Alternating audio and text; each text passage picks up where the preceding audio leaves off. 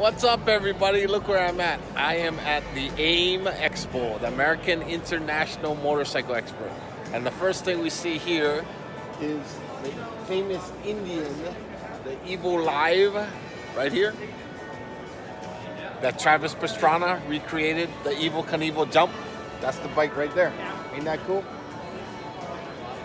So we're inside the show. We're gonna walk around, take a look at all the cool stuff. This is the this is the Indian uh, exhibit. Got all the Indian motorcycles over here. How cool is that, right? Look at this bad boy. Wow. We did last year with the. Look at that headlight. We with the bike and with the bike 24. Cool. Look at these bikes. Wow, that's cool. Look at all these bikes. Look at this thing. So they got demo rides outside and uh, all kinds of fun stuff. So uh, anything that I see cool, I'll show you the cool stuff. Cause look at these. Wow, right? Look at this bike. I know somebody out there dreaming about this bike. Look at this bike. Wow.